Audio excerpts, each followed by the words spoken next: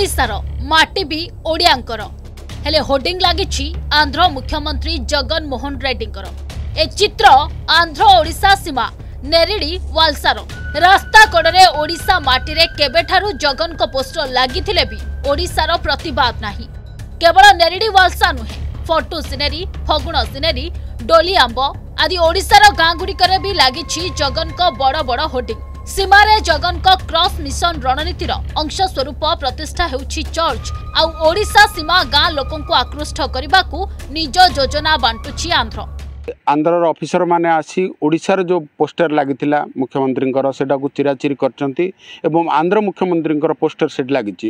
ତ ଏଇଠୁ ଜାଣିପାରୁଥିବେ ଯୋଜନାବଦ୍ଧ ଭାବେ କୋଟିଆ ପାଇଁ ସେମାନେ ଯେଉଁ ବ୍ଲୁ ପ୍ରିଣ୍ଟ ତିଆରି କରିଛନ୍ତି ଆନ୍ଧ୍ର ସେଇଟା ଗୋଟେ ବଡ଼ ଚ୍ୟାଲେଞ୍ଜ ଆମ ପାଇଁ ହେଇଛି। ଆନ୍ଧ୍ରର ଏ ଦାଦାଗିରି ଆନ୍ଧ୍ରର ଏହି ବିସ୍ତାରବାଦୀ ନୀତି ପ୍ରତି ଅ, ଓଡ଼ିଶା ସରକାର କଠୋର ମାନଭାବ ନିଅନ୍ତୁ ଏବଂ କଠୋର କାର୍ଯ୍ୟାନୁଷ୍ଠାନ ଗ୍ରହଣ କରନ୍ତୁ। ସୀମାରେ ଏବେ ଷଡ଼ଯନ୍ତ୍ର କେତେବେଳେ ଉତ୍ତମ ଶିକ୍ଷା ତ କେତେବେଳେ ଜଙ୍ଗଲ ଜମି ପଟା ତ କେତେବେଳେ ନିଜ ରାଜ୍ୟ ମୁଖିଆଙ୍କର ବଡ଼ ବଡ଼ ହୋର୍ଡିଂ ଲଗାଇ ଏବେ ସୀମାବର୍ତ୍ତୀ ଲୋକଙ୍କୁ ଧର୍ମାନ୍ତୀକରଣ ସହିତ ନିଜ ମାତୃଭାଷାରୁ ଦୂରକୁ ନେବାକୁ ଆନ୍ଧ୍ର ଚଲେଇଛି ବଡ଼ ଷଡ଼ଯନ୍ତ୍ର।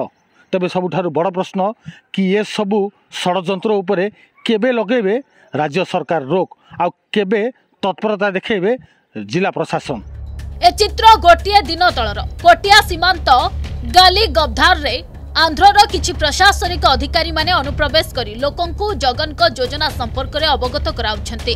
ସ୍ଥାନୀୟ ଲୋକଙ୍କୁ ଜଙ୍ଗଲ ଜମି ପଟ୍ଟା ବାଣ୍ଟିବାକୁ ମାପ ଚୁପ ବେଳେ ପହଞ୍ଚିଥିଲେ କୋଟିଆ ପଟାଙ୍ଗୀ ବ୍ଲକର ନବନିର୍ବାଚିତ ଜିଲ୍ଲା ପରିଷଦ ସଦସ୍ୟ ଟିକାଇ ଗେମେଲ। ଟିକାଇ ଆନ୍ଧ୍ର ଅଧିକାରୀଙ୍କୁ ବିରୋଧ କରିବା ପରେ ସେମାନେ ଫେରି ଯାଇଥିଲେ। ଆନ୍ଧ୍ରାର ପ୍ରଶାସନମାନେ ଦିନ ଦ୍ୱିପରେ ଖୋଲମ ଖୋଲା ଆସିକି ପ୍ରବେଶ କରିକି ବର୍ତ୍ତମାନ କୋଟିଆ ପଞ୍ଚାୟତର ଏଗାରଟା ପ୍ରାୟ ଏଗାରଟା ନା ବାରଟା ଗାଁ ଦଖଲ କରିବା ଉପରେ ବସିଛନ୍ତି। ତାହେଲେ ଓଡ଼ିଶା ସରକାର କାହିଁକି ନିରବ ଦ୍ରଷ୍ଟା ହେଇକି ଦେଖୁଛନ୍ତି? କ'ଣ ଏହାର ପ୍ରହସନ କ'ଣ କିଛି ବୁଝି ହେଉନି। ସାତ ଆଠ ବର୍ଷ ହେଉଛି ଏଇ ସ୍କୁଲ ବନ୍ଦ ହେଇକିନା। ଯେଉଁ କତଲସା ବସ୍ ଟ୍ରକ୍ ବସ୍ ଲାଇନ୍ ପାଖରେ ପାଠ ପଢ଼ିବାକୁ ଯାଉଛନ୍ତି। ଆମ ଗାଁରେ ସ୍କୁଲ ଖୋଲା ହେଲେ ଭଲ ହୁଅନ୍ତା। ପିଲାମାନେ ବି ଭଲରେ ପାଠ ପଢ଼ନ୍ତେ ଏଠିକା। ଏବେ ଦେଖନ୍ତୁ ରାୟଗଡ଼ା ଜିଲ୍ଲା ଜେମାଦେଇ ପେଣ୍ଠ ଆନ୍ଧ୍ର ସୀମାରେ ଥିବା ଓଡ଼ିଆ ସ୍କୁଲର ଅବସ୍ଥା। କନ୍ଧ ଜିମିଡ଼ି ବଡ଼ ଲୁକୁଟି ସାନ ଲୁକୁଟି ଗାଁରେ ଓଡ଼ିଶା ସ୍କୁଲ ବନ୍ଦ ହେବା ପରେ ଏଠାକାର ପିଲାଙ୍କୁ ଡ୍ରେସ୍ ବୁଟ୍ ଷ୍ଟାଇପେଣ୍ଡ ଦେବାକୁ ପ୍ରଲୋଭିତ କରିଛନ୍ତି ଆନ୍ଧ୍ରର ଦଲାଲ। ଆମ ଗାଁରେ ସ୍କୁଲ ଥିଲା ସ୍କୁଲ ବନ୍ଦ ହୋଇଗଲା। ଆମ ଦୂର ପଡ଼ିଯାଉଛି ସ୍କୁଲ ଆମେ ବେଶୀ କିଲୋମିଟର ହେଉଛି ପାଞ୍ଚ କିଲୋମିଟର ଚାଲି ଚାଲି ଯାଉଛୁ ଭଲ ଆମ ଗାଁରେ ଏଠି ସ୍କୁଲ ଖୋଲିଲେ ଆମେ ଭଲରେ ପାଠ ପଢ଼ିପାରୁ। ସୀମାର ଗାଁ ତଦୁର କଥା ଜଗନଙ୍କ ଷଡ଼ଯନ୍ତ୍ରର ସୁରାଗ ସୀମାର ସହରରେ ବି ଛାଇଗଲାଣି।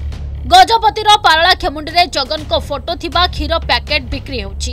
ଆନ୍ଧ୍ରରେ ଗର୍ଭବତୀଙ୍କୁ ମିଳୁଥିବା ମାଗଣା କ୍ଷୀର ପ୍ୟାକେଟ ପାରଳା ଖେମୁଣ୍ଡିରେ ସହଜରେ ମିଳୁଛି।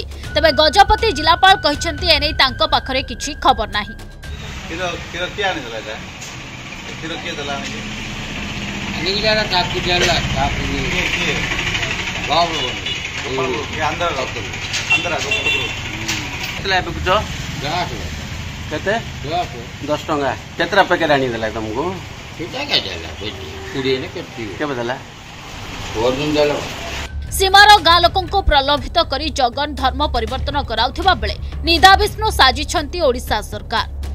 ରାୟଗଡ଼ାରୁ ମୃତ୍ୟୁଞ୍ଜୟ ନନ୍ଦ ପଟାଙ୍ଗୀରୁ ହରିଶ ଖିଲ ଗଜପତିରୁ ଜିତେନ୍ଦ୍ର ବେଉରାଙ୍କ ସହ କୋଟିଆରୁ ମନୋଜ ଦାସଙ୍କ ରିପୋର୍ଟ ଅର୍ଗସ୍ ନ୍ୟୁଜ୍।